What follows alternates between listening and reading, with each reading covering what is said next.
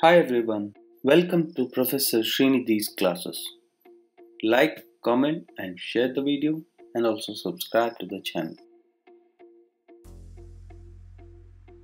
This video is about intrapreneurship.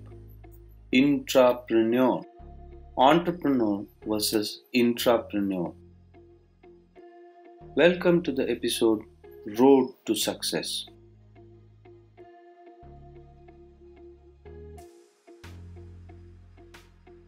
Nokia Corporation, one of the world's biggest multinational telecommunications, information technology, and consumer electronics company.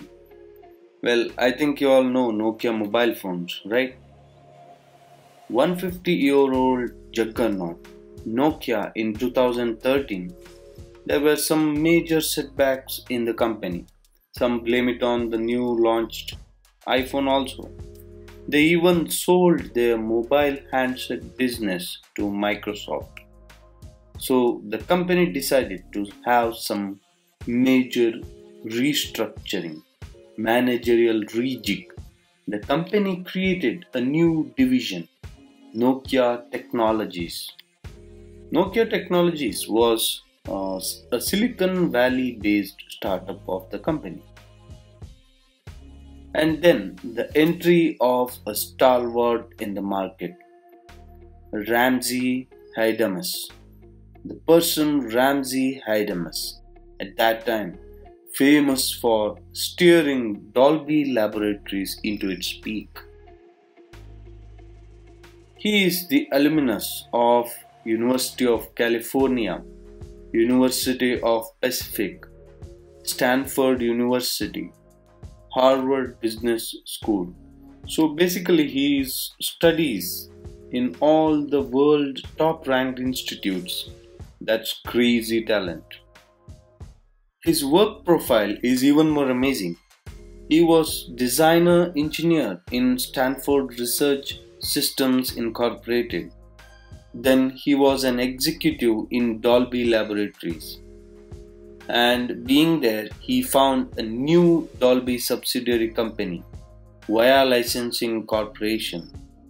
It is a world leading provider of intellectual property business solution and then became the president and CEO of the company. Then he became the executive vice president of Dolby Laboratories, then to Nokia Technologies and now at present he is the president and CEO of Immersion Corporation. In 2014, he entered Nokia, Nokia Technologies as its president, which was very new.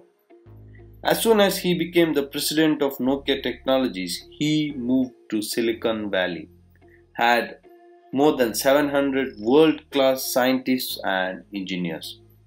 His core mission was to figure out what to do with these assets and how they might be used to propel Nokia back into the customer space.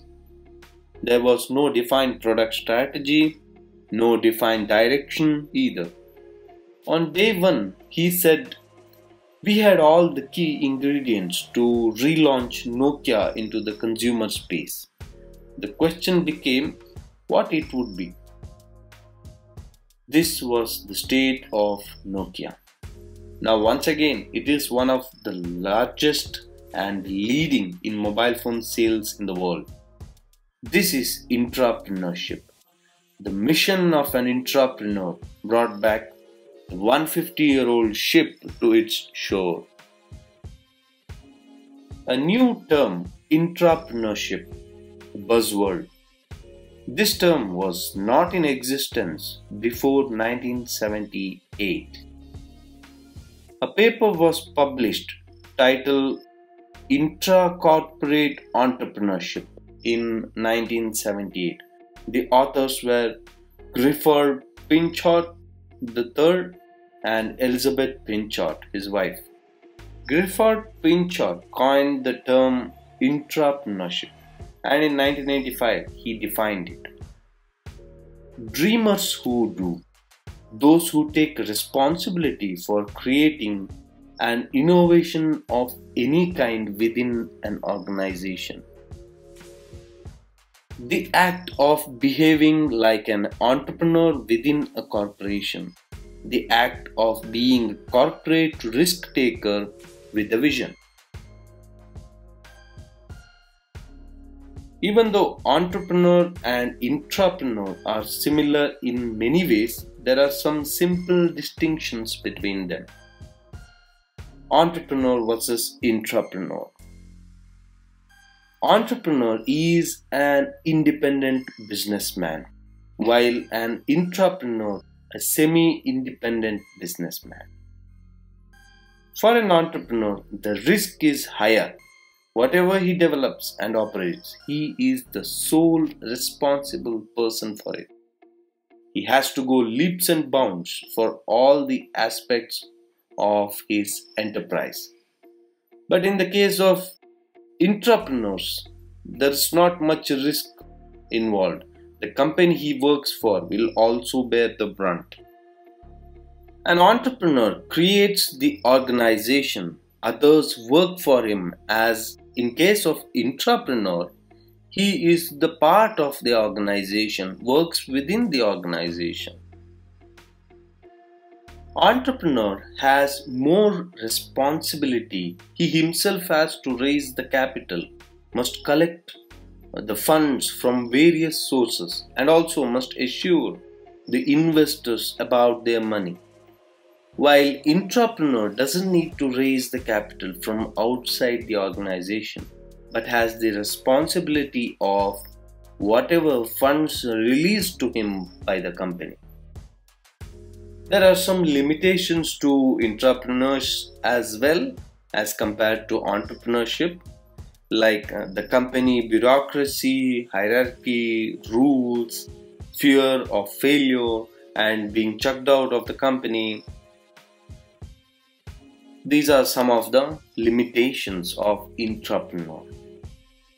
There are a lot of organizations, institute where young talents are guided and there are community of intrapreneurs like Pinchot and Company, Circle of Young Intrapreneurs, Intrapreneurship Conference, League of Intrapreneurs and many more. There are a lot of success stories and examples on very successful entrepreneurs and the company's incorporated entrepreneurship approach. Companies like uh, Nokia Technologies of Nokia Corporation, Skunk Works, a group of Lockheed Martin employees, the company 3M, Intel, Xerox, Microsoft, Virgin were some of the companies which promoted corporate entrepreneurship, that is, intrapreneurship. Hence, the concept of intrapreneurship. Well, thank you for watching the video. Stay tuned to the channel for more videos. Thank you.